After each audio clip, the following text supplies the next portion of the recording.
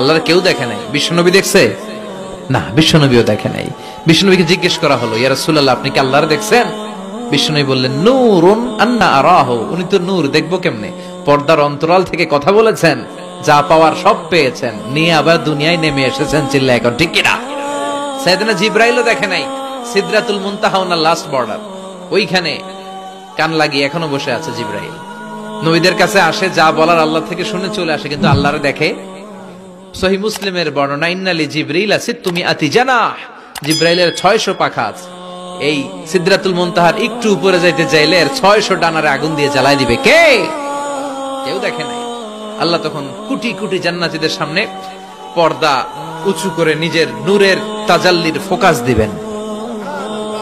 জান্নাতীরা বসে আছে দেখার জন্য। পাগলের মতো এমনি আছে সবাই। তবে আল্লাহ লম্বা সময়ের জন্য দেখাবেন না, এক মুহূর্ত।